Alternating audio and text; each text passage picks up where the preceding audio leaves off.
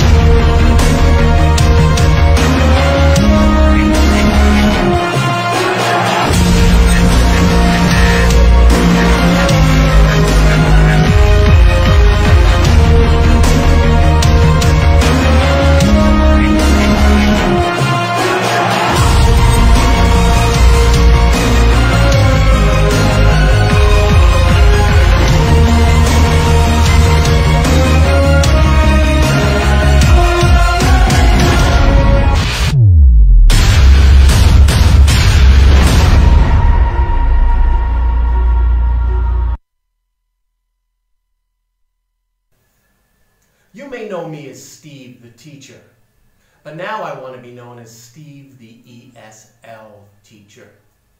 I'd I'm no to see some longer teaching moments, in but the I think United it's only ever States. seen been Now seen I'm once here by the guides. in China. I myself haven't Now seen it was my moments yet, intention but to fade into the background silently, quietly. But then I came across a Chinese wrestling promotion called Middle Kingdom Wrestling, MKW. And as the good teacher that I am, I studied and researched this group.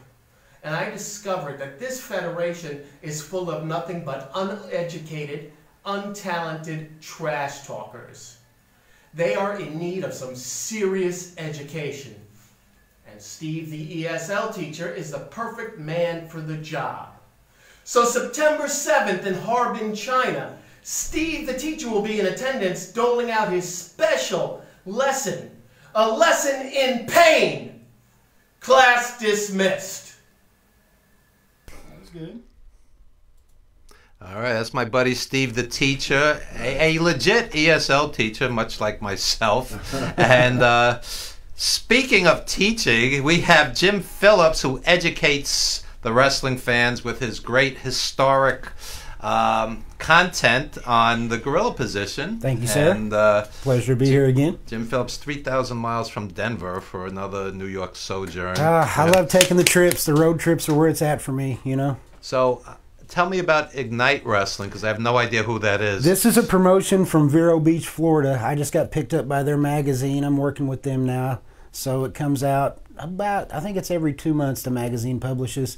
Um, Aaron Epic is their champion. Casey Lennox, she works for uh, MLW as the backstage correspondent. She's the ladies champion. It's a, I mean, one of the better indie promotions out there. They've got a great website, content on Roku. Yeah, I like them a lot. They're good. I'm happy to be affiliated. And whenever I see Florida in the media, it's some like crazy, like a woman has an alligator in her drawers, or you know, some, so, so if the wrestlers are the most normal people in Florida, that's saying something. Yeah, well, that could. Yeah. that's given. Yeah, I guess. yeah. Every time I every time I see some insane story, I go, it's either Florida or Texas, Texas, yeah, right? Yeah. It Why? seems to Why be is that that? The heat? I don't know. Maybe, maybe so. Maybe there's something with that latitude line or longitude line that runs across there. Who knows? Well, now Yeah, that pissed off all the Florida viewers. Yeah. yeah. So uh, you were with us yesterday at Alpha Championship Wrestling, the first show, packed. Yeah. No exaggeration. Yeah, it was- packed. yeah. Standing room only. Yep. They didn't. They didn't have enough chairs to accommodate everybody. No, the space was tight, but it was seeing all those people there, and it was a hot crowd. I it was enjoyable. So tell us, as a jaded old school fan, what was your take on Alpha Championship Wrestling? Well, the the the work that the guys are putting in. There's some young guys there. They're trying to cultivate, which is great. That's a good thing. Um, I really enjoyed the match that um, Fabio Luss and Bobby C did. There was a lot more old school techniques in there. You could see. Team there Splendid. Was, they, yes, Team Splendid. They were telling the story. It wasn't just going out there and hitting bumps and spots. And, So did Team Splendid, myself included, as the uh, chauffeur, do, did we cross any lines in humiliating the fans at ringside? I found it thoroughly enjoyable. I was one of the few people standing up cheering as you all came in. There, no one was happy to see you except for me. I don't think. So there was a uh, there was a fan seated first row uh, with a uh, ch- with a replica belt, str- you know, flung across his shoulder. So this is like being first row at a comedy show. You know you're going to get picked on. It's that's So- a requirement for any indie show. There's always going to be the one guy with the belt that that yeah that wants to carry it around and have everybody take pictures. So I so I'm in the ring and I go to the guy, "What's up with the belt?" I go, I go, "What kind of champion are you?" and I go, "And did mommy make you a pot roast for dinner tonight?" you know. So then, if you think that's bad, um, Chris Michaels comes out and he he rips on the guy. He goes, "You're a 45 year old virgin." It's, it was it so, was brutal. It's so funny though. It was such a great heel moment. I was yes. But, but my question is is there a line you know where it goes from playing heel to being cruel is there a line because i'll tell you a story i was i was working with team splendid a couple months ago and somebody pointed out a fan who had some mental issues and and and he pointed out a real physical flaw and i just said to the guy no no no i don't want to go there Yeah, there was a woman and i, I just didn't want to go there Well, there's, I hate to say good taste because if you're a heel, there's no such thing. But there's a certain point, you know what I mean? I, I can't get enough of Ted DiBiase kicking the basketball out of the little kid's hand Yeah. when he's dribbling it, but you don't want to kick somebody's cane out from under him neither. There's a, you have to use a little bit of personal judgment, but I would say if, just like you said about the comedy show, if you show up to an indie wrestling show, especially if you got a belt over your shoulder, you know what I mean, and you're obviously in no wrestling shape whatsoever to be out there, you Some should of the expect wrestling it. fans aren't human sized at, indie wrestling You shows. should expect it. You know what I mean? It should be something in the back of your mind. You should be like, yeah, I'm probably going to get some heat. yeah, we, we like using words like peons and plebeians and uh, gutter snipes because the wrestling fans don't know what it means. So, so anyway, this is about you. Tell us what's happening at the gorilla position and what are you working on? Everything's going really well. Um, I'm just rolled out. Should be out today, as a matter of fact. The Going to Heel, I've been talking about that for some time and was trying to wrap up the wrestling territories. Finally got the last territory in, which will be out in book form in the next few months. But the Going to Heel is so great. It's uh, we look at everybody that with singles runs mostly. I try not to do the tag team. I want to highlight their singles careers, but guys that generally didn't go face at all, just the bad guys, because that's that's what I love so much. yeah, yeah, I love the Koloff. I'll I'll go ahead and, and, and give it away a little bit. Koloff is uh, the first one that I took a look at. And there's I've got like 35 or 36. It seems like the list grows all the time, and something snaps in your head, and oh yeah, we got to add that guy to the list. Hmm. But yeah, I I enjoy that a lot. Um, I found that many times great heels, when they turn face, it, it was a letdown. Yes, It was a letdown.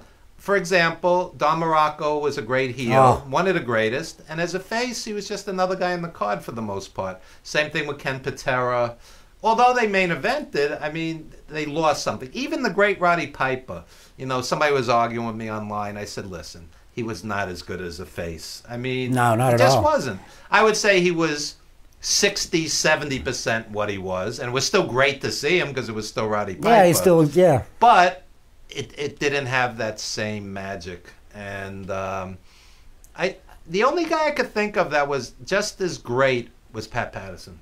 Yeah. Pat Patterson when he came out against Slaughter with the street fights and Patterson was, was great heel or face. I can't think of too many guys like A that. A couple of times, the few times that Bockwinkel went over face in AWA, you know what I mean, trying to promote the brand a little bit, it's Bockwinkel. I could still watch that. And I had no problem with, with him going that direction. I saw Bockwinkel against Zbyszko live a couple of times Ah. late in his career. He was still great. Bockwinkel was good all the way up to the end. A gentleman wrestler. Like you, you looked at that guy when he had the belt, and you, you knew he was a champ. Even you know, I mean, he didn't even need the belt really. And he just he had that aura about him. And he was an interesting promo because he spoke softly, Yeah. intelligently. My late mom used to go, "Why do they all have to yell?" Yeah. You know? You got the Road Warrior and the Ultimate Warrior promo, stuff like that, where they're screaming at you, telling you how they're going to take you apart. You got guys like Bockwinkel, Henning, Jake the Snake, guys that take the Jake take, Roberts was menacing. take yeah, take Yeah. the tone down, slow it down, speak a little softer. Well, that's an old You teacher know? trick. We had Steve the teacher on before, and I'm an educator, and Jim's wife's an educator. But uh, an old teaching trick is instead of yelling at the students, which would indicate you've lost control with kids, you speak lower, and you know, and then all of a sudden they're, they're trying to hear you. right. You know, this is not acceptable. You know, you Yeah. sound menacing. and the kids, you know, so Yeah, I can uh, see Jake the Snake walking in front of the classroom, telling them to calm down. That would be a promo to see. Tito Santana's a in New Jersey. Nice. Excuse me, a Spanish teacher, Spanish language teacher, and um, I could, I could see him controlling a class. He's a Arriba! he's Sorry, I had to. He's a big, big guy, and uh, I, Oh yeah, I, yeah. I, I, I don't see little. He, he teaches junior high, which is a tough, tough group.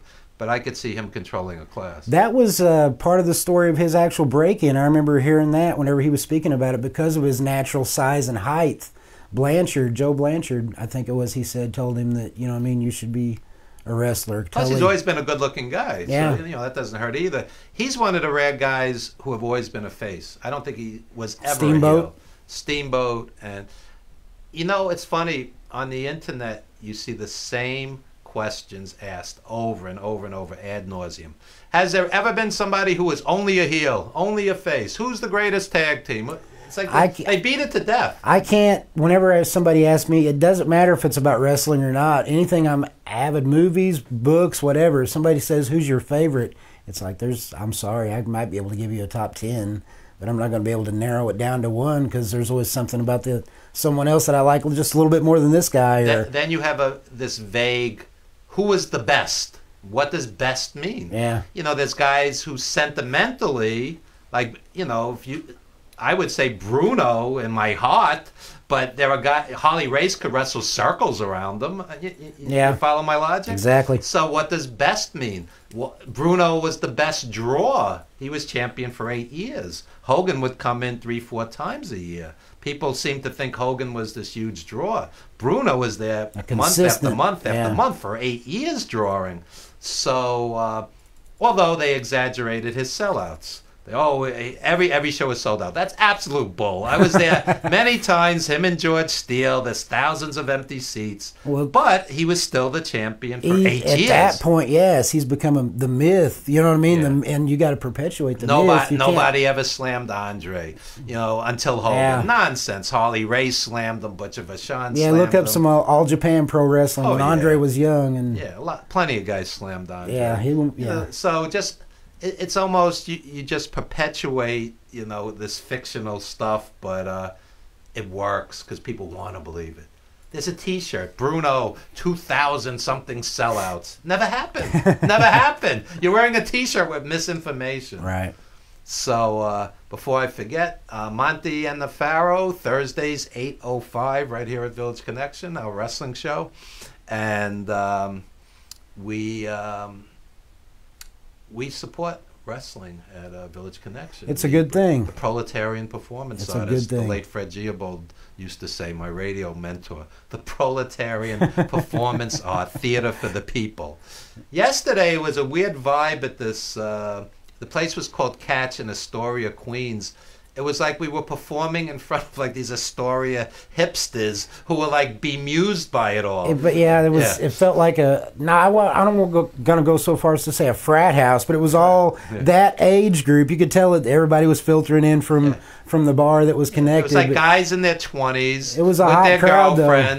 And it wasn't like a lot of guys with wrestling T-shirts or whatever. I heard a guy behind me. He, he's saying, "I don't know what's going on, but I like this." he just w- never saw wrestling before. Yeah, there was there was a lot of man buns in the crowd. We'll put it that way. what, what's your take on man buns? oh my lord, any all that stuff, skinny jeans, all that stuff. It's I, I guess maybe it's how one generation doesn't like the one following them. I don't know, but I can't do Chris it. Chris Michaels uh, made a comment when he was on the mic about Astoria hipsters, so uh, he was heeling on him. Uh, yeah, it was good. It was really good. And then the guy you were talking about earlier, the fan that had the belt, it was a funny instance. One of the matches was being announced.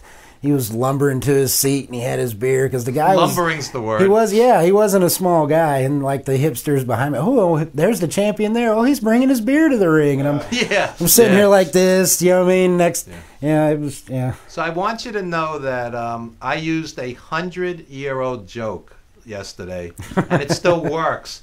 My father was born in 1920. Now in 2019, and he he used to use this line. They don't make heads like that anymore. so I point to this guy, first row ringside, me and the manager, and I go, "They don't make heads like that anymore." The guy looked like all red and uncomfortable. Right. No neck, just Yeah. and my father used to have this line, "Who stole his neck?" yeah, I use that also, yeah.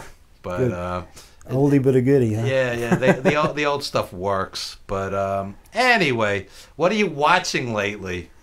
Wrestling wise, Yeah, wrestling wise. I find myself going to YouTube a lot and looking up the old stuff. I'm uh, just subscribed to the New Japan website, so the Yeah. New Japan World. I belong to New Japan. World. Yeah, I've just now come on to that. I was like using the, like I say, using YouTube and looking for specific matches, but with the website, you can go on and just see so much old classic stuff and just let it run. You know what I mean? It's yeah, it's wonderful.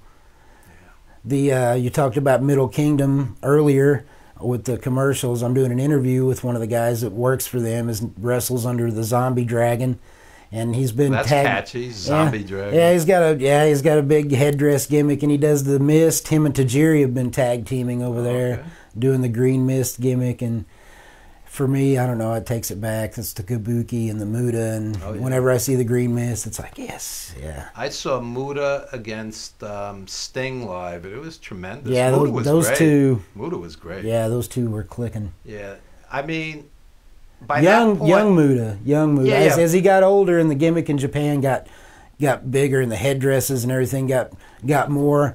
I liked to, to like Kabuki and Muta when they would come down with just a just a face mask, Yeah, yeah. and then Kabuki especially. And Gary Hart knew how to work it so well. He'd take the mask off, and his hair was in his face, and then he parted the hair, and then it was makeup, and shot the mist, and it was just such great theater. I watched the shoot interview with Gary Hart, and um, he was talking about the the making of Kabuki, you know, Mm. molding him, and because you know he, he wasn't a big guy, and you No. know, a- and. He was, he was he was a bald. He wasn't in fat, shape. little guy, Yeah. and they made him into like this killer, you know. So Yeah. that that that's promoting. Gary I- Hart, so great. Gary Hart was was amazing. I think he was one of the greatest managers of all time. Well, he had like the he had the ne'er do well, like the almost like the Kevin Sullivan had his army of darkness, like Gary Hart had like all the crazy guys, the but Gary the Hart bloodthirsty, himself, the bloodthirsty guys. Oh yeah, Gary Hart himself. You go, this guy would stick a knife in you. you know, that was the persona I'm he saying. He could turn it on. Yeah, that yeah, that yeah. he could give that face. You know what I mean? And you knew, yeah. yeah, I mean, sometimes you see like a little guy like the Grand Wizard, and you're like, I could kick that guy's ass. But Gary Hart, you're like, I wouldn't mess with this you guy. He sure if looks he had menacing. a, wasn't yeah. sure if he had a knife or a gun on him. yeah, yeah. Gary Hart was uh, really top notch. It's too bad he didn't have like a big run in WWF or WWF because Yeah. I think he would have been huge. oh man, Texas wrestling is it was it was great to see. I remember Humperdink briefly came into WWF or WWF, and for whatever reason he didn't last. Right? He was managing Bigelow briefly. Yeah, I remember that. Because Humperdink was great also. I, I grew up with him in the Hollywood Blondes, Jerry Brown and Buddy Yep. Roberts. Yep. See, nowadays you have to distinguish the two because everybody thinks of Austin. You go Buddy Roberts and Jerry Brown, Yeah. the, the original Hollywood Blondes. Yeah, it's like Those the Blonde. Bombers the same way. You know what I mean? You, you had Patterson and uh, Stevens. Stevens. and then uh, Farris. They uh, Honky Tonk Man, Roy Yeah. Wayne Farris. They did a Blonde Bombers run down in uh, Smoky Mountain as well. Right, right, right. So yeah, the the good names people want to use them. You know. Back to Gary Hart, one of the greatest wrestling stories, one of my favorite, is it's it's a it's a bad story, but it tells the story of the man. The he was involved in that plane crash that was going over. I don't think they were in. I'm pretty sure they were down by Texas. They were going over a bay, and the plane went down. And Austin Idol and a few people were on the plane. Oh, yeah. And Gary Hart got to shore, and he's cut up, he's gashed on his head, all messed up. Goes back out and hears these guys out there screaming and hollering. Swims back out three times. Wow. Not once, three times to go back and get his friends. Left his friends on the beach that were all tore up, and then goes and is like bloody, head to toe, half dressed, knocking on these people's houses to get help. You know what I mean? That's that's a man you want in your corner. That's a man you want as your friend. That's So the irony is, he is one of the great villains who's a legit hero. Yeah. A hero saving lives, risking his own. the guys that some of the best villains, some of the best heels, and I, I haven't met a lot of them personally, but I've been told through interviews, some of the nicest people, soft spoken. Oh, yeah. Kowalski. Oh yeah. I'm sure you could Kowalski tell stories about that all day. Kowalski was actually shy. He would sit on the couch opposite you, and unless you spoke first, he would just look at you. The guy was shy. So it's so ironic that he was one of the greatest heels. This, okay, I'm, I'm here for uh, therapy, not really for radio. I'm here for therapy. WWE had a top 50 list. Kowalski, I believe, was 49 in the top 50. You know, um, obviously, some kid wrote the list. Yeah. I mean, Kowalski to me was top 10 or 20 all time. Easy. Great anything, heel or face. Kowalski was on top for 30 years. In, in the 70s, when he was wrapping it up, he was still on top. Yeah. Okay? So, uh, how do you have a list of the top 50? He was either 49 or 50, I forget. He was It's at the an- bottom of the an- list. Yeah, it's an insult the way the old the old stuff is forgotten, which is one of the main things that drives me in trying to keep the history of the business alive. You know, the, if they're if they're going to do these top ten lists, they need to break it down by a decade. You know, for real, because otherwise, the the guys that built the business that these kids are riding out now are getting forgotten. It's, Yeah. it's Please, please don't tell me that the Miz is number seven Yeah. and Kowalski's number fifty. Yeah, Come our, on, yeah, our Come truth and the twenty four seven title at number two. Yeah, some craziness. And Flavor of the moment. my, my my other pet peeve. Um, we had this discussion in the car. I uh, I see these guys who will go from pay per view to pay per view to pay per view, spending thousands upon thousands of dollars, and then publicly they'll say, "I would never give a dime Yeah. to one of these Kickstarters or GoFundmes because they're all a scam." And I'm like, "You cheap bastard." Yeah. Vampiro, who's struggling to get through the day with Alzheimer's and is literally crying. It's heart wrenching. The guy's younger than me. He's got Alzheimer's. You can't dig into your pocket for five dollars, but you got four hundred twenty-five dollars for a belt A fake belt. to look like an idiot. Yeah. Come on. Yeah, I don't understand the. I'm not an autograph seeker or a, a memorabilia hound. I'm not knocking the people who like that stuff, but I just never understood the need to walk around with the belt over your shoulder, let alone walk around with the belt over your shoulder to the event and sit there. But then after all the real wrestling has happened, you want to hop around in front of the ring and hold your belt up and have your buddy take a picture of you holding the belt up. You know Look, what I mean? Like you all- just it's- like you did something. It's harmless. If they get off on it, great. But don't publicly say that legitimate, legitimate Kickstarters and GoFundMe's are all scams. Right. Come on. Because you, you, you're potentially hurting the guys who need it. Yeah. Well, guys like guys like Vampiro have given so much back to the business anyway. Look at all. I mean, not only the work they've done, but the the people they've influenced. You know, and everything that's gone since they've started. Yeah, it's it's sad to see people act that way. Why don't we Why don't we take a brief time out and um, Jim could play out commercials and. Uh,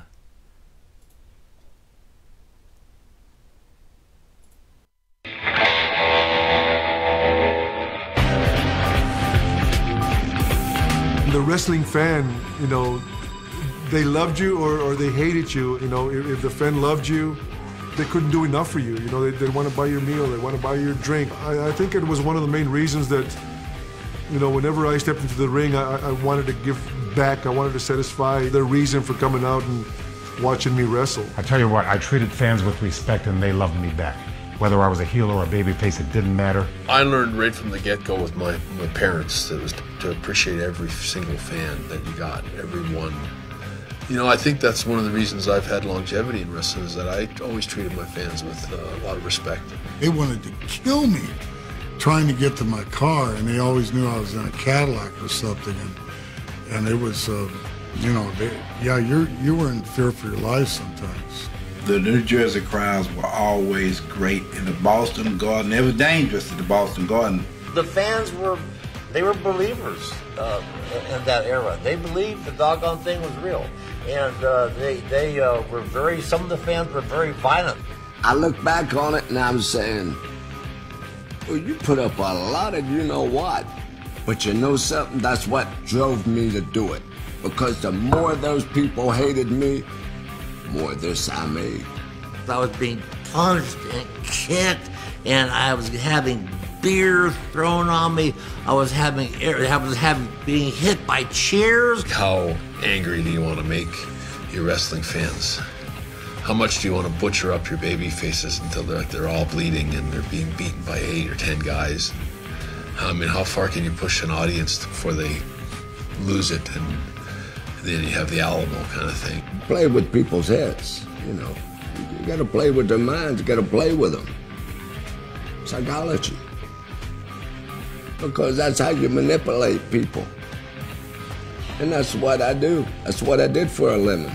I manipulated you when you were a kid. I know I did. Because you probably didn't like me. Or you might have liked me because I was that way. And a lot of people did. A lot of people didn't. Thank you for the living I made at it, people. You were very good to me.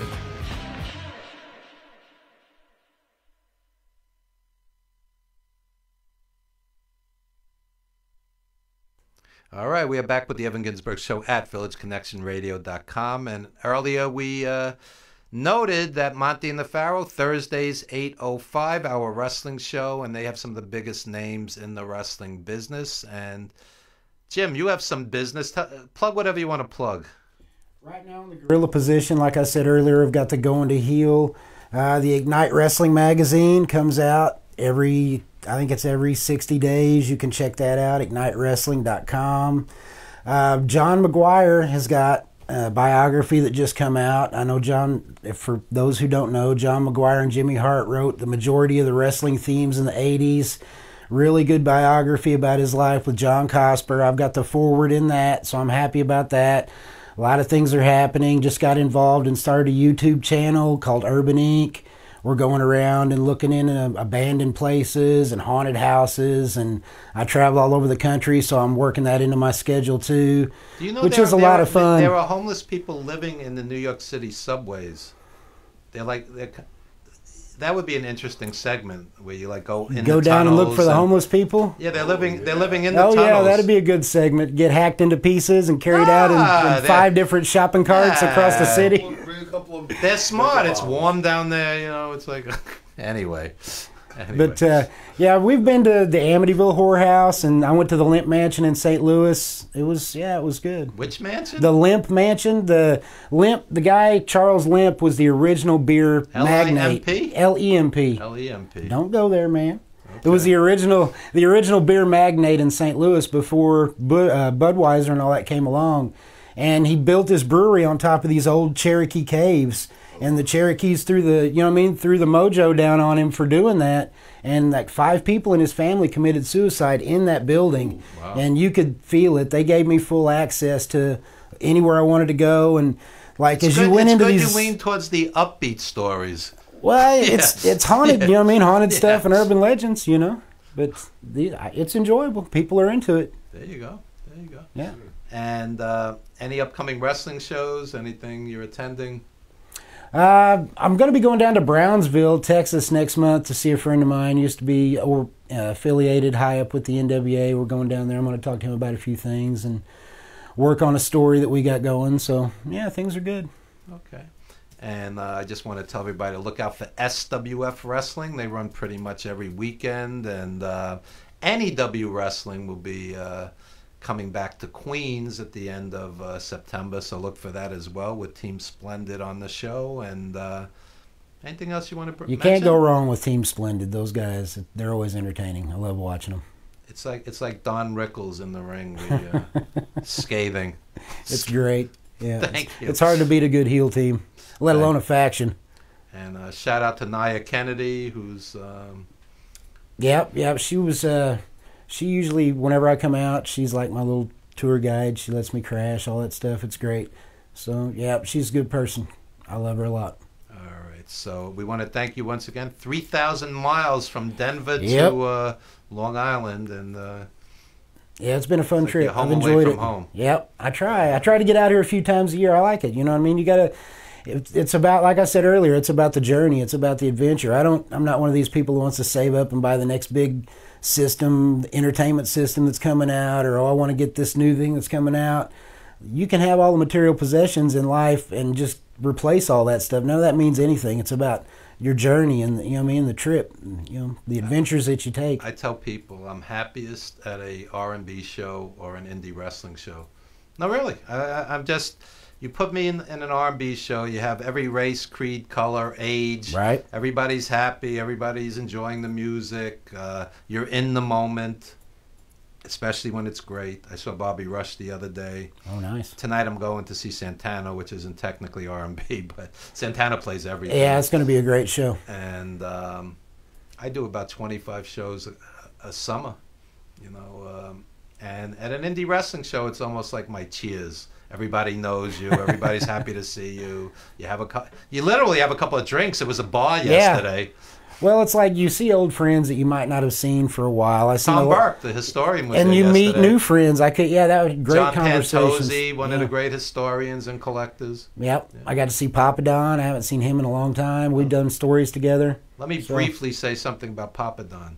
Um, Papa Don is as good as pretty much anybody who steps foot in a ring. I agree. And basically, the fact that he's not in WWA, WWE reeks of ageism. Yeah. Because they they like him in their twenties, and he's probably forty-ish at this point. Vordell Walker as well. We spoke about that. There's a lot of guys that, that are still on the indies. Damian Wayne Costal, they're still out there I mean, doing well, their thing. They should at least um, hire them, give them a contract, and uh, you know squander them like they do the rest of the guys. Oh, yeah, just they'll give them a check and put them on main event, and uh, but give them a chance. I mean, these guys are great. They, I and think they've more than earned it. They would be good in developmental, so great in places like that because they've lived the road. They've been out there. They know what it's like. They can give them the education about things that aren't in the ring to expect. You know what I mean? That life out there. It's not And easy. Papa Don's a total package. He has a great gimmick. He can talk. He He, can can, talk. wrestle. He can brawl. he Total sells. Yeah. Yeah, imagine that. Yeah. Imagine that. Jim Phillips, the Gorilla Position. Thank you so Thanks much. for coming back on. Thank All you. right. And we will be shifting to arts and music in just a few with meteor expert Erica A. And jazz and music. I don't even want to limit it to jazz because these guys play everything. Karsten Ratko, all the way from Germany, and David Shear from LA. But right now, all the way from Australia, Cause of You, Stephanie Angelini, featuring Brandon Watts. Um, and uh, I want to thank Joe Mandica for setting this up.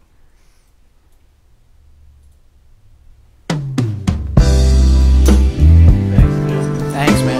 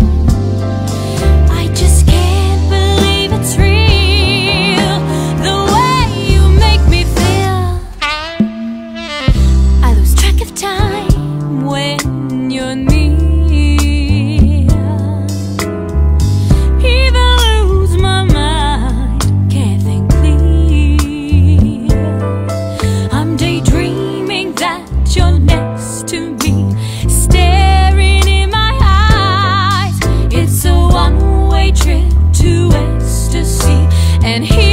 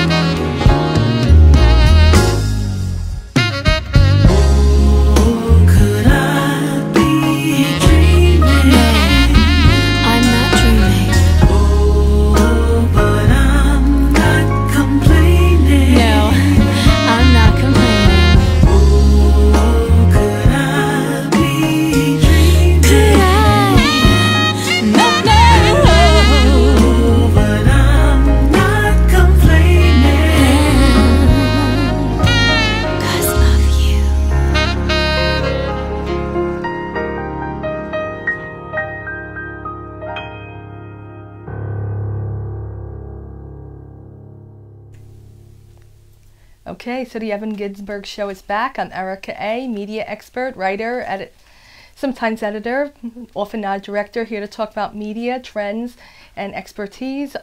What's coming up in the fall, what's on right now, what got canceled.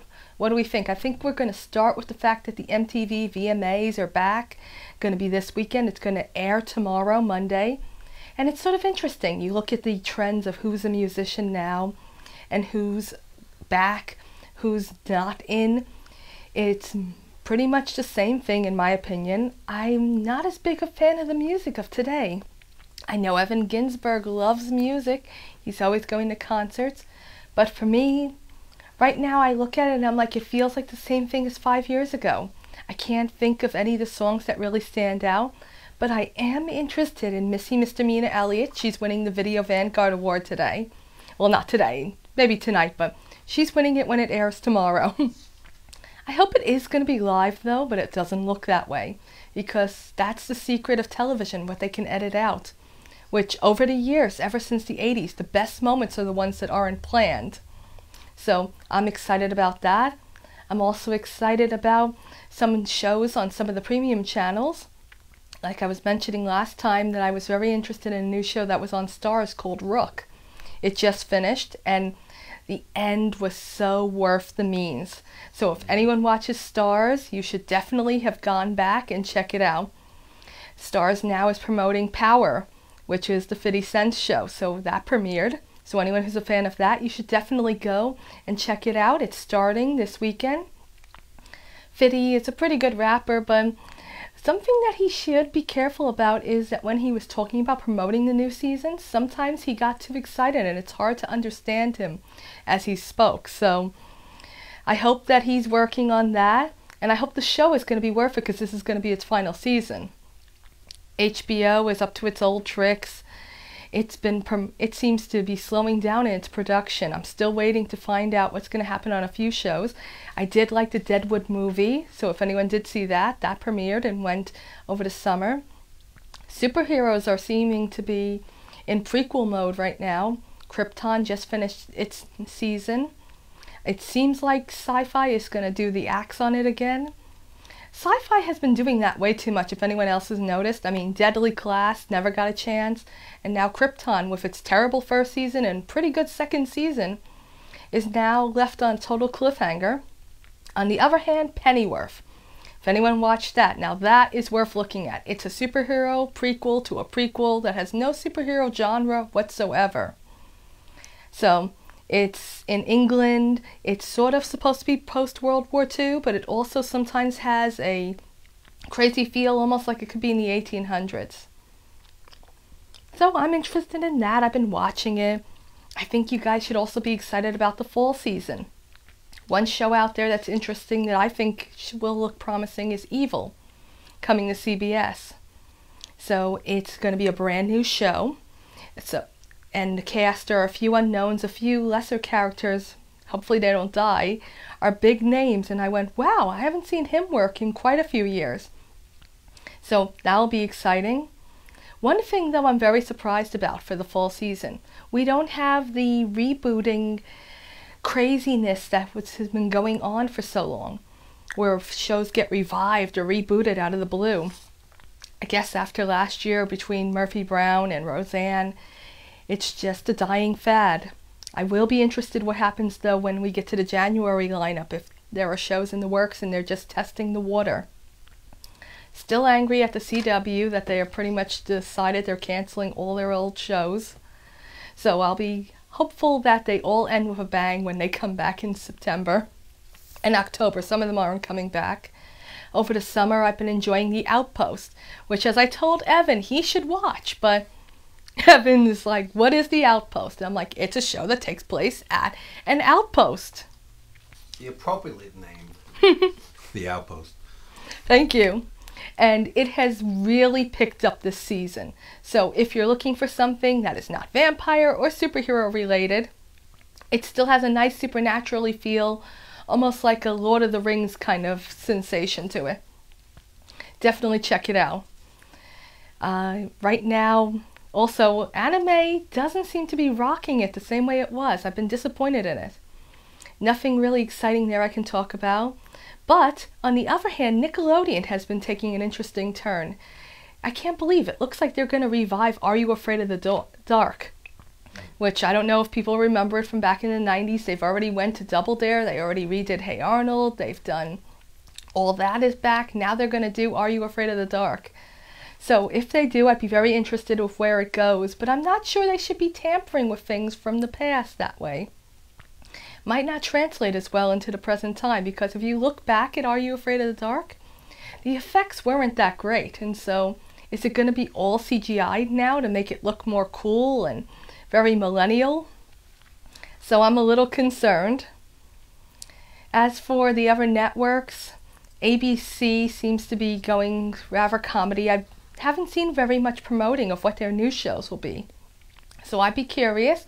ABC, put your commercials out there more. And so right now, where else are we? Should we talk about Showtime? Should we talk about the streaming services? I know most people are into their streaming services. I've still got to catch up on that. I've been looking at Amazon though. New show coming out that looks very interesting. So everyone keep watching. And what else should we talk about? Should we I think we should just call it a day here. so, keep watching. Remember to check everything out. Remember to keep track of what's on. And remember, don't just start complaining about it online. Be part of it. Appreciate entertainment. Entertainment music, entertainment improv. There's so much out there and keep watching. There you go, Erica A. All right. And when we come back, Carsten Ratko all the way from Germany and David Shear from LA, legendary musicians live performing in studio.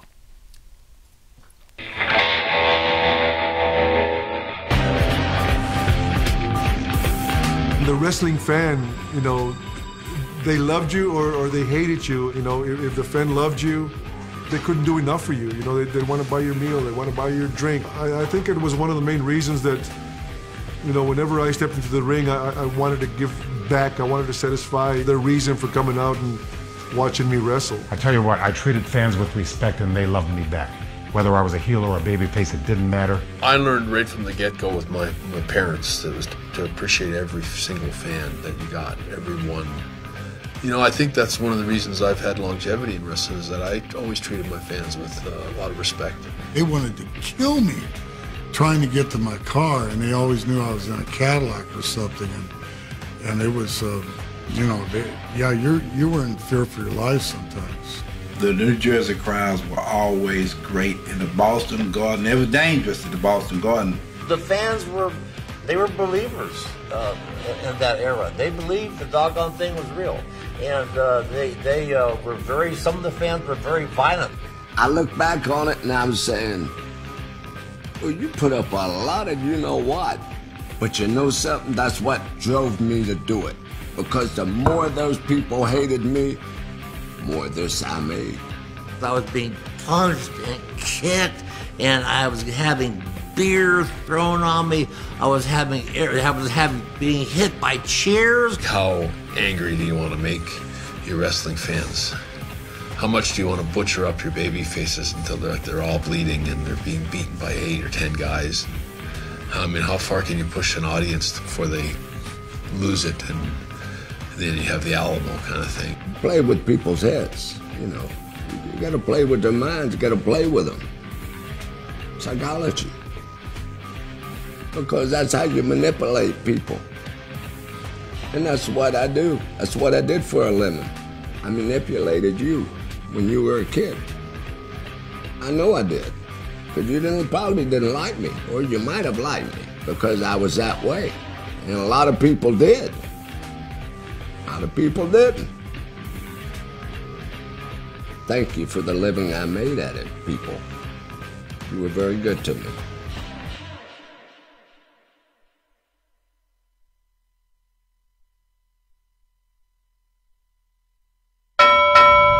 Say, you're Bobby Rivers, right?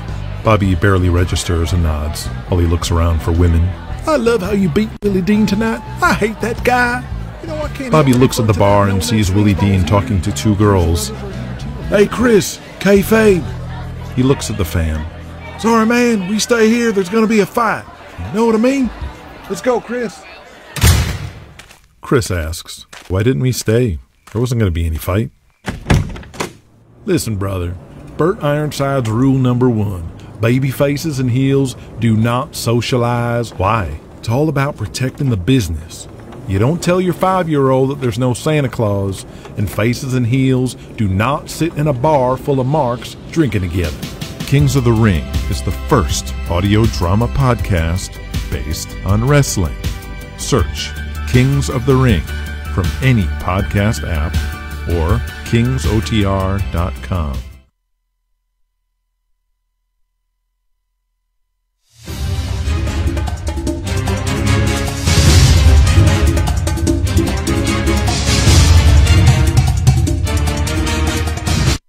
Ladies and gentlemen. It's KMB, the sexy ninja! And I just saw a beautiful, beautiful documentary. I cannot stress anymore how much I love this so much. It's been out for a while. I've been trying to get to it, trying to get to it. But it's work, work, work, work, work, work, baby. That's all it is. But I finally sat down, took some time out of my day and out of my schedule to watch 350 days. Legends, champions, survivors.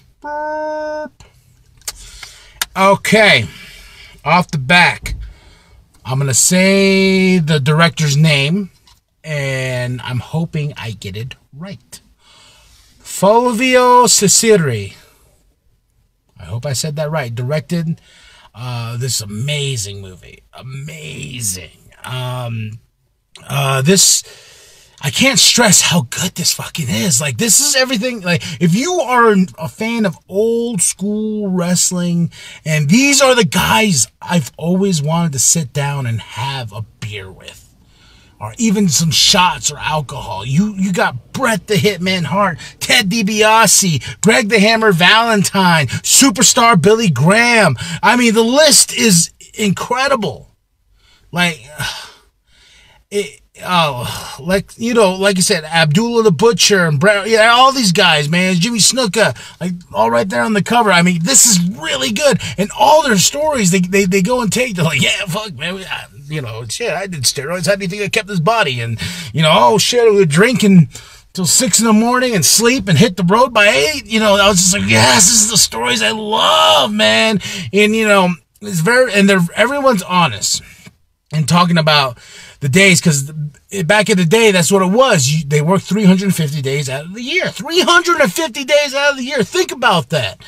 And, you know, and Ric Flair talks about it all the time. And I really wish, you know, because I know WWE, uh, a lot of wrestlers were tied up in um, WWE, you know, Legends contracts, so they couldn't be on this. But I wish they could. I wish, I wish WWE would just be like, you know, go, go do this. Do this movie because I that would have been like the full front. But this alone, though, it's beautiful. It's it's just so amazing. And the way I heard about this movie, uh, of course, um, Instagram and stuff, I was like, oh, 350 days. Then, um, uh, God, Fulvio was on the Talk is Jericho podcast talking about the movie. And he says there's so much footage he shot and this and that, sitting down with everybody, hearing everybody's story. I was so jealous because, damn, this is, oh, and that's an amazing podcast too. You should check that out. It's on uh, Talk is Jericho. I believe he still has it up, unless you're signed up to the Stitcher. I don't know. You know those crazy premiums where the episode kind of disappears and you have to go buy the back. I don't know. It's a great episode. It's a really, really good episode. And the movie itself is really fucking good and well played out. Um, I love documentaries, especially wrestling ones. I love them so much. Like, and this one is at the top of my list. I'm probably going to watch this again because I enjoyed everybody's stories. You should check it out also. It's on Amazon. Uh, I believe they have a website, 350days.com. Check it out, man. It's, it's fucking amazing. And Fulvio, I salute you, sir, to all the wrestlers, to all the legends that were on this. Oh, so fucking good. Get your copy today. If you are a hardcore wrestling fan, you need this in your life. Um, I will try to have the link to the Amazon um, below in the comments so you can go get your copy. This is fucking magic. fucking magic. You should get it. Whoop whoop. Oh, like and subscribe also.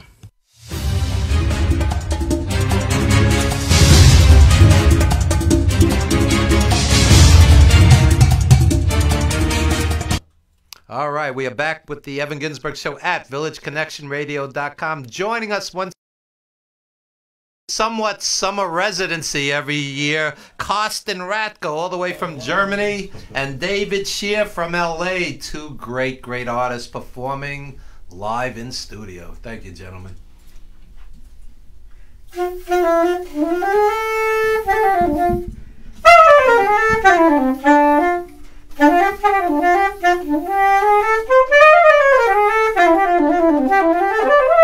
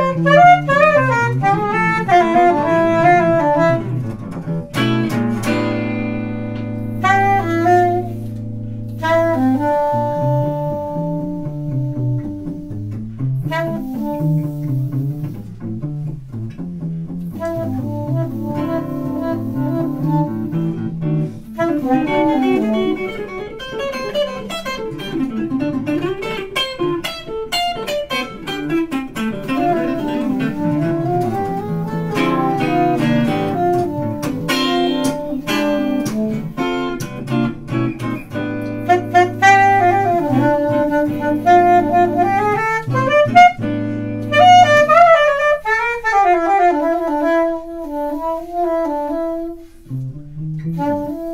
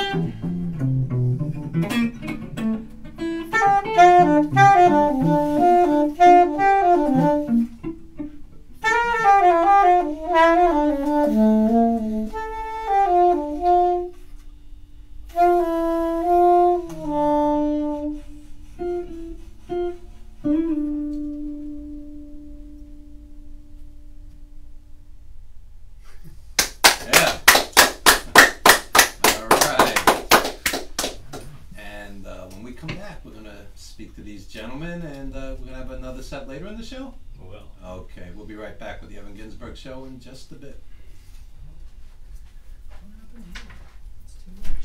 You like the sound? How's the sound?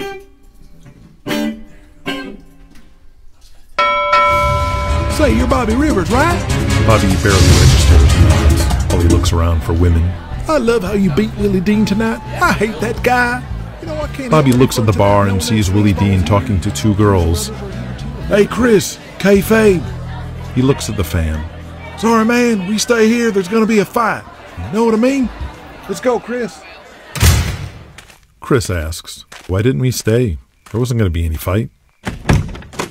Listen, brother. Bert Ironside's rule number one baby faces and heels do not socialize. Why? It's all about protecting the business. You don't tell your five year old that there's no Santa Claus, and faces and heels do not sit in a bar full of marks drinking together. Kings of the Ring is the first audio drama podcast based on wrestling. Search Kings of the Ring from any podcast app or kingsotr.com.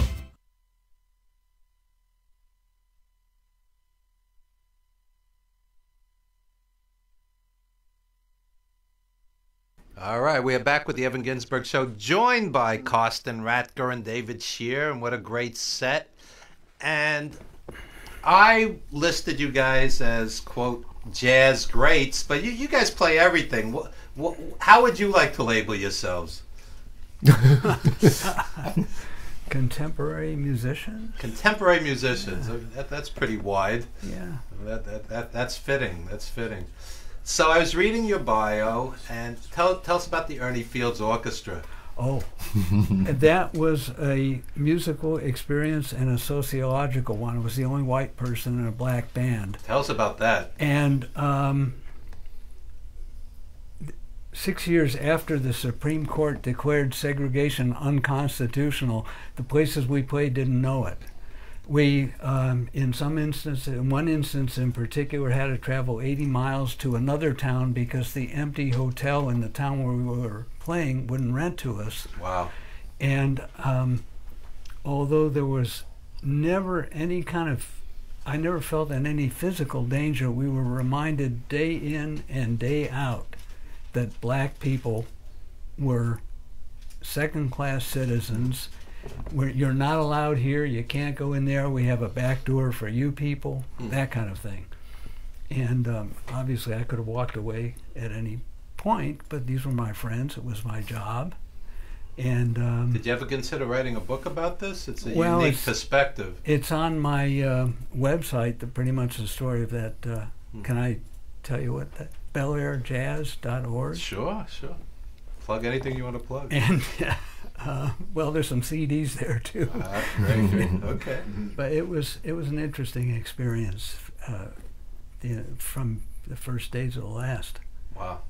What was the most troubling thing that you experienced? Is a particular incident that stands out? Well, yeah, it's it it was the same the same day we stayed 80 miles away from the town where we were working and we got up the next morning it was way too early to go to work so Ernie called a rehearsal we finished the rehearsal and my roommate who's a drummer named Billy Davenport who is in the Rock and Roll Hall of Fame as a member of the Butterfield Blues Mm. Band Wow. Okay. it's my roommate. We went That's downstairs below the rehearsal hall, and there was a store, package store, whatever you call it. He went over, took a bottle of pop out of the chest, put it on the counter, put the money down, and as the guy handed him his change, he said, "We had a back door for you people." Mm. Well, Billy was from Chicago and wasn't used to that. We got on the bus, and he was he was incredulous, and people were trying to calm him down. We drive the 80 miles to the town where we're working, and it's pouring rain. And we pull up in front of the club, and my other roommate, saxophone player named John Cameron, who I was a teenager, he was about my father's age. He he um, stood in front of my seat, and he just stood there with a funny look on his face for a long time. And I finally started to laugh, and I said, "What?" And he said, "You know, the minute you get off this bus, you're going to be soaked." And I said, "Yeah." He said, "Through to the skin." Yeah. He said, "You see that store across the street?" Yeah. I need a package of cigarettes. If I carry your instruments into the hall, will you go and get me a package of cigarettes? I could drown looking for the back door in this weather. Hmm. Wow. Well, there was a guy who was in his 40s. He was used to that system. Hmm. You know, some. And what, and what people tend to forget is this is not that long ago, 50, 60 years Mhm. back. I mean, 59 years ago, that Yeah, was with that band. so uh, it's been a lot of progress, and still there needs to be a lot of progress. Yeah. But um, Well, there are forces of evil still trying to drag us back to those, Mhm. those days. Exactly. Without getting into any deep political. as a performer, I often I often see um, on both sides. You know, you'll have a named performer get on a stage in front of thousands of people, and they're pro-Trump or anti-Trump, and half the audience is going to turn on them. So, as a performer, what's your take on bringing politics into a performance arena? Uh, I, I, I don't know why there is resistance to a prominent person in, in, in a, an art commenting on political situation. Some, but wh- whatever the other side is, they don't think he should do it. Right, right, right, right. Yeah. Um, I don't. I wouldn't know how to do that, except to lead an exemplary life and oppose Trump. I think uh, it's not really necessary. You put ourselves into a position just through the music that we're playing. Well, I'll give you an example. Barbra Streisand was playing uh, The Garden, I believe, and you know she's very political, and you know some of the audience agreed, and some of the audience was upset. Like Mhm. we're here to hear music, we're not here to hear politics, Mhm. And it's done on the other side as well. Mhm. So m- my real question is. Mhm. Is it worth alienating half your audience? Oh. Mhm. You know, because you could do it on social media. You don't have to do it at the Mhm. show. I That- can do, I, I can do it by playing the saxophone. You're right, right, right. right. I think the No, audience. I mean that- alienate the audience, half the audience. Right. I think the audience that we have um, knows where it stands. Sure. Sure, sure, absolutely. So we don't have the big divide that Barbra Right. Streisand would have with the garden, you know. I've never felt that, that. I've always felt strongly about it, but never this strongly. Mm. I think our way of life is threatened. Yeah, No doubt. No doubt. On a happier note, tell us about some career highlights. You've been out there a long time, David. Um, just freelance studio musician. Um, every every job was a new experience. I mean, you know, you, it's freelance. You don't work with the same people twice, ex- except by coincidence. The music is always different. Tell us about some of the giants you've worked in- with. Interesting. Well, I played on a Freddie Hubbard record. Oh, there you I go. didn't didn't get to meet him. Um, I played in a hundred piece orchestra accompanying Frank Sinatra. As Uh. a musician, when you're in a hundred piece orchestra, do you hear the one guy that's playing off? Can can Oh, yeah. well, in that case, nobody was. Oh, okay, okay. It was a high paid group.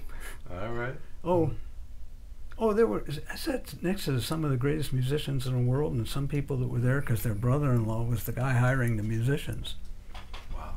So, And and tell us about some of the legends that you have worked with. God, legends. Well, Stravinsky, sort of. He was supposed to conduct, but he sent a sub. He sent a sub? Yeah, he came, Okay. he came to the concert, but he. Uh, is there is there additional pressure when you're playing in front of somebody like Stravinsky? It, oh well, it's always pressure. You, you got to You usually get one chance to do it right. Mm-hmm. In that case, the conductor was a real impediment, but we got through it. Oh, okay, okay. And how did you gentlemen meet? That happened in 2001 at this uh, artist in residence program, where um, they put together like 15 people from all over the world, miss make them mismatch, you know, like not forming a group that is kind of coherent, but that is provoking each other to do things that they wouldn't have done otherwise. So I think it was both of us who applied with the Berio Sequenzas. And uh, it was the time, you know, when obviously this was the right thing to do. So we met each other, and it was very interesting because we had this really diverse group. Also, age-wise, there was a young bass player, Travis DeRuzza, who was playing with us. And I, I remember that picture that was taken of the three of us. We were playing trio, and I thought it's like this three-generation kind of making music It was beautiful. A very unique experience for I think all of us, and we became not only dear friends, but he's like a mentor to me. not only That's- musically. that's a lot of responsibility. No, That's I don't have any responsibility. That's don't have to. great. This reminds me of a documentary I highly recommend. It's called Take Me to the River, where you have very old blues players. Um, Otis Clay, for example, who recently passed, he was 78 at the time, and they're playing with young rappers. And you would Mhm. never think this would Oh, work, yeah, but it, it, it works. Oh, yeah. And it's a tremendous film, and it's, it's very moving in spots. Mhm.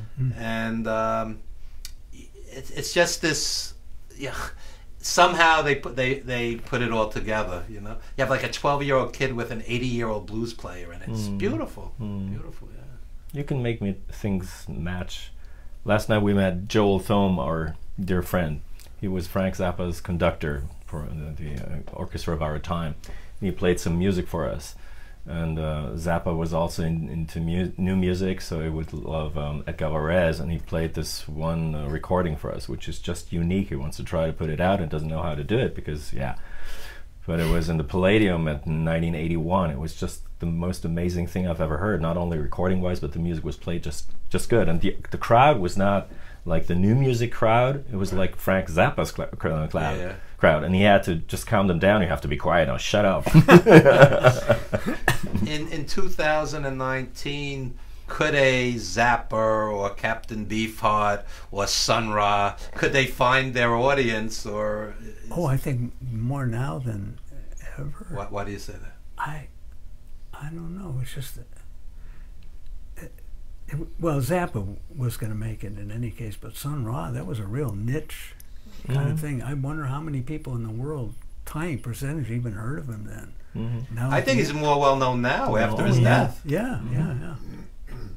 Some of the best nights of my life was seeing. I, I once took a date to see Sun Ra on New Year's Eve. She was befuddled, and we never went out again. but uh, Sun Ra was amazing. I took a um, recent Russian immigrant oboe player to hear a rehearsal I did with Frank Zappa, and he said, "I don't know what's going on." Yeah. Wow. That was that uh, con- that 1975. We determined Zappa album, double album done at Royce Hall. Well, speaking of that, that's since you brought time- that up, that's a long time. I have I have all these glowing reviews for your CDs, and uh, extremely innovative.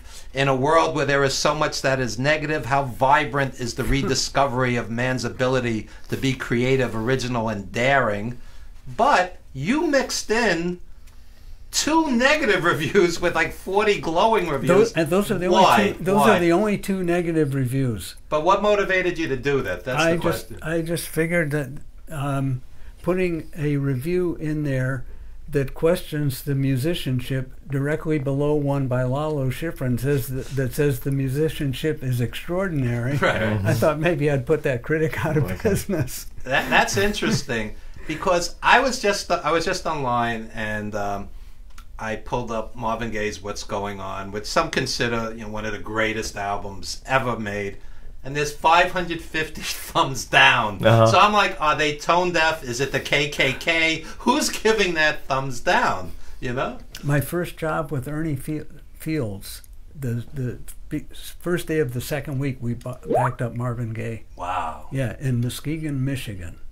And what was that experience like? Um, nobody knew him at that point, 1960. The only thing I remember from that experience is um, his conductor was a flute player, so we had to talk about flutes. Um, we had done a week at the Regal Theater in Chicago, and the next job was in Muskegon, Michigan, for three days with um, Marvin Gaye. Harry James's band was in the same hotel. Hmm. His first alto player was the only black guy in his band, and I was the only white person in Ernie's band, and his alto player was famous. I saw him walking down the hall, but I didn't have the nerve to talk to him. Mhm. Willie Smith, great alto player. Wow. So you you guys have played with some of the masters, and uh, what do you have for the, what do you have going on in the future? Looking ahead, We're improvising. Also, with the future, things come up like Evan's show. they just pop up and then we go. You know. I'm just practicing long tones and Yeah, and I'm scales. practicing. I'm practicing counting on two and three, so we're basically the same. I, I remember reading um, Sonny Rollins, who many considered the greatest saxophone player. He, he said uh, he's in his 80s. He's practicing two hours a day. Oh yeah. So um, you know, it, uh, it's Oh, and- it's admirable. Um, you know, that, that guys are still that driven because they haven't. Uh, Sonny Rollins has nothing to prove at that point. yeah, I guess if you don't get it now, you're not gonna. So tell, tell us about your CDs and your label and anything you want to plug. Um, they are another way of combining jazz and classical music. I play a classical piece and then use the elements of that in a composition, a so-called companion piece. And um, well, there are three of them, and I think they're good records. The second one is, um, shouldn't say it, my favorite of the three, I guess. Okay. It, everything just came So together. there's no like middle child syndrome. The second's the best. Oh, of the three. yeah. Well, everything just came together. The third one, I think, I, I was a little bit too long, maybe. Okay. But now you can download it. You don't have to download the the second CD. I find sometimes with musicians they're almost too self-critical, and somebody else will, you know, say this is perfect. But uh, I've never heard of anything that I thought was perfect. I mean, that I did. okay, But that's because you're humble. no, it's there's always something to improve. But that record really came together. Mhm. And, and tell people where they could get it. Oh, BelAirJazz.org has links. And spell it, spell it. B E L A I R J A Z Z dot O R G has links to where you can get it. The musicians on those CDs were just extraordinary. Mhm. You know, I live in Los Angeles. There's a lot of great musicians. Sure, sure. And Costin, anything you want to plug, promote, upcoming? Mm, well, I'll go back to Germany next week, and then we'll play over there. I have a trio um, that I've played with a couple of years ago. It will be all improvised, and then uh, do some solo stuff, and then uh, this really wonderful um, tabla player from India, from Kolkata, will come over, and we will do some Indian stuff uh, combined with free improv. And, and Costin, what does it mean for you to play with somebody as great as David? As I just said, I know uh, I feel he is like a mentor. I always listen when he has to say something. You can just throw something in, and he comes up with all these stories, and it's a good reason to just open your eyes wide open.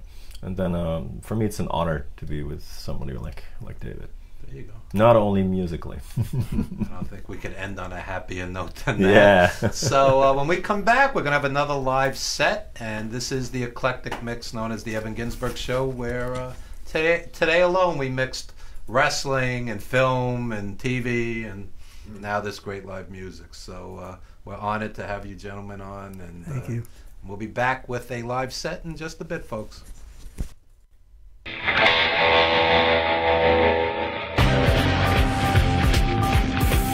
the wrestling fan, you know, they loved you or, or they hated you. You know, if, if the fan loved you, they couldn't do enough for you. You know, they, they want to buy your meal, they want to buy your drink. I, I think it was one of the main reasons that, you know, whenever I stepped into the ring, I, I wanted to give back. I wanted to satisfy their reason for coming out and watching me wrestle. I tell you what, I treated fans with respect and they loved me back.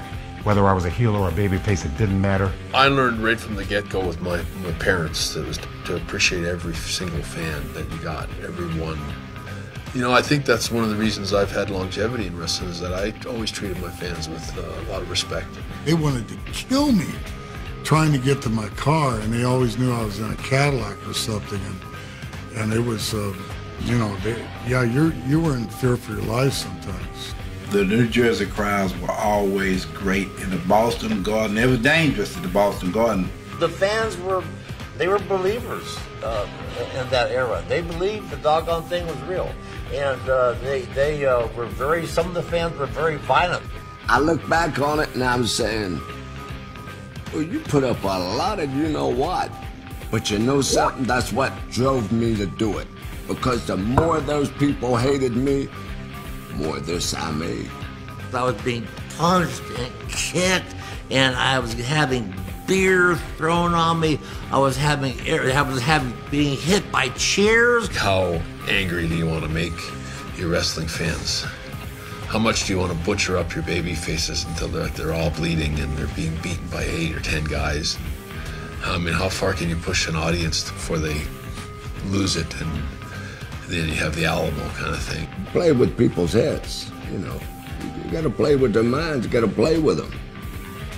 Psychology. Because that's how you manipulate people. And that's what I do. That's what I did for a living. I manipulated you when you were a kid. I know I did. Because you didn't probably didn't like me. Or you might have liked me because I was that way. And a lot of people did. Lot of people didn't. Thank you for the living I made at it, people. You were very good to me.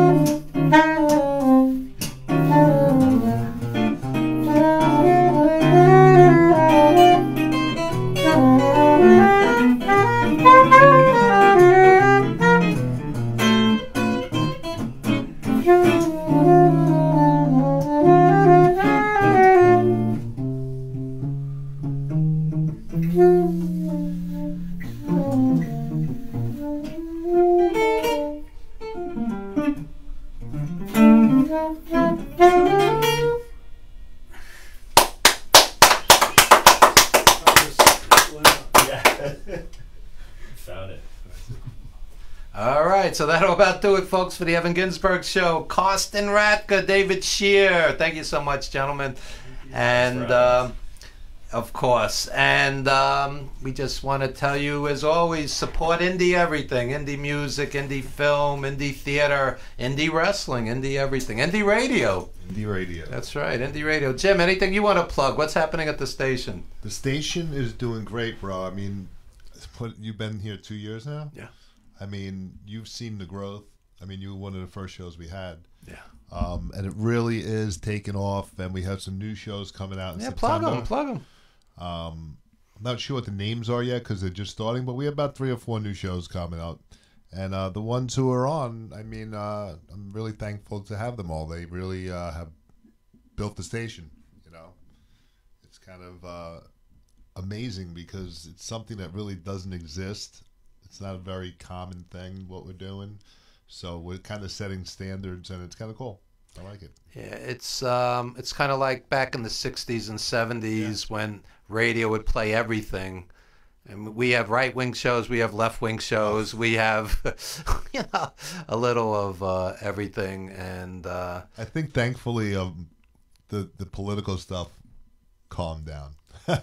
we got rid of some of the shows that were doing it, and it's all it's all friendly. That's the but that's the greatest thing is most of everyone involved is so different. We have music shows, we have business shows, wrestling shows, two plumbers talking nonsense, shit, and all of these things. For the most part, we all get along, and we have people coming in from Germany, and it's just ama- it's kind of amazing to me. I never expected it to uh, to become what it is. yeah, on this show alone, we had a uh, world uh, video premiere from Australia. Yep. Stephanie Angelini and Brandon Watts. Um, What would we have like forty wrestlers here plus your shows? Fifty wrestlers here, probably at least. Wrestlers, wrestlers uh, and stand-up comics are good talkers. Stand up comics, yeah, yeah, yeah. And uh, musicians. I love musicians, as you know. That's how I started. We started Village Connection Radio. We were not video at first. It kind of just progressed naturally into this when Facebook added the ability to go live. Um, and it kind of grew from there. So it's kind of neat. You know, we support local music, we support foreign music. Yeah. I mean, you can't get any better than that, right? That's right. That's right. So, on that happy note, we just want to thank everybody. This is the Evan Ginzburg Show at Village Connection Radio for Jim Savali. We are signing off. Thank you.